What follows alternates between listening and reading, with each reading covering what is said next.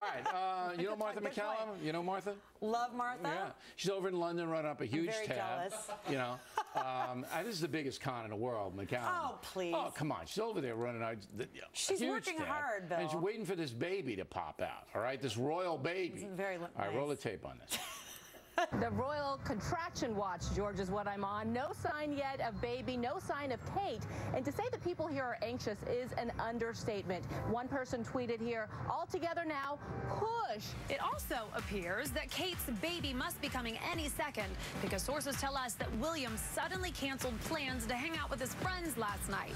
NBC cameraman Tony Day tells E they're being extra careful to avoid missing any of the excitement. So you've actually gotten up in the middle of the night, gotten dressed, come all the way down, Yeah. thinking there was a baby on the way, Yeah, and, absolutely. and nothing. Absolutely. Betting has become a very lucrative business when it comes to all things royal baby, especially when picking the names of the future king or queen.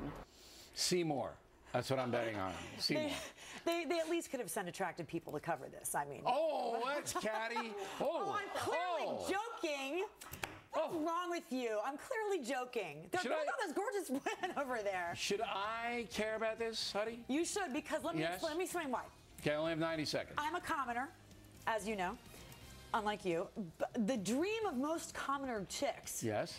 But marrying a prince. Kate is a commoner. She got to marry a prince. She went to university. She majored in art history. All right, so, so let me let, let me just let me encapsulate because you're a commoner and you want to marry a prince. I should care about this kid. You should because aren't we friends? Don't you care Yeah, about my okay. life? No, I got it, and I will.